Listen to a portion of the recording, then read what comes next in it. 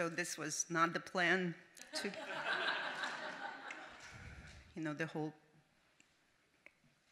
evening had progressed to put me on the real edge of my emotional equilibrium. And so, and this is not a fake, this is real. Thank you very much, Leslie and Gianna. Thank you, Maya. Thank you, Girls Write Now. Thank you, Lane, for nominating me. I am feeling empowered and honored to be part of this, and I think that this, I will be part of this for many years to come. You know, when I came to this country, I um, didn't really speak English very well. I mean, I knew how to read and write, but I was really embarrassed because of my accent to really speak up. I didn't want to reveal my background right away because when people would hear me, their first question would be, you know, where are you from? So I was very quiet. But at home, you know, doing homework, this is where I could write. This is where I could take the time and start telling my story. You know, at Fresh, we call our copywriters storytellers because since the beginning of time, people have been telling stories, stories to connect to each other. You know, folk tales tell us everything about our history. And I think that in a way, storytelling is the way that we connect to other people, and whether it's in writing or whether it's by the spoken word, this is a privilege that we all have. I mean, this is the part where you get to express your own voice, even in writing.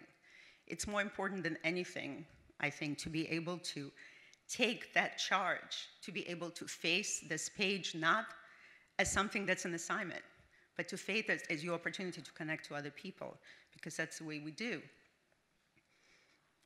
Used to be an audiobook snob, you know, and because I believe in reading books and, you know, not listening to books.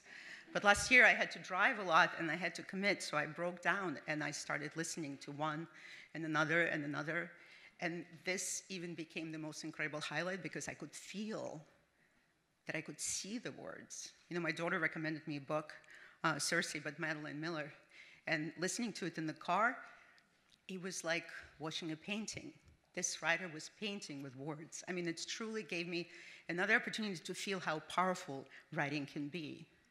And even though it was fiction, I think the same could be said about words that can rise people, you know, rise people to believe, to speak about something that they care about, particularly to unite people, and especially to unite women, because we have to be able to speak our voices, to tell our stories, to clear away the voices that are in a way to really understand what the message of our lives is.